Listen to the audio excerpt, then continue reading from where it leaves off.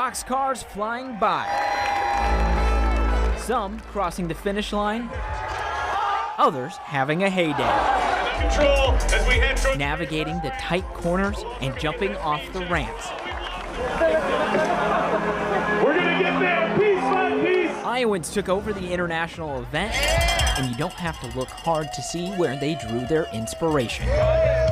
From Iowa. That's where it came from. The culture in the heart of Iowa. Butter, the oh, state fair, the butter cow. You bet. We just decided to lean uh, wholeheartedly into the Iowa theme and let's go with the corn cob. David Gobranson and the Iowa bobsled team have been working on their corn cob car for months and are excited to showcase it in the state capitol. I live in West Des Moines. I love seeing stuff like this happen in Des Moines. It's really cool just to see this big event and show, hey, Des Moines can put on a good show too. Most are optimistic first timers. I am nervous, but I think that we're going to cross that finish line in record time. We're just a group of uh, friends, Uh, and we saw the link, and we thought, all right, we can do this. Caleb Knutson and his team are raising money for the Food Bank of Iowa with a Ghostbusters inspired ride. The pandemic and inflation have really hurt people, and so we want to make sure that people don't have food insecurities, especially in rural Iowa.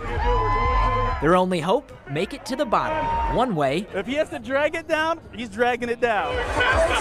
or another. In Des Moines, Bo Bowman, KCCI 8 News, Iowa's news leader.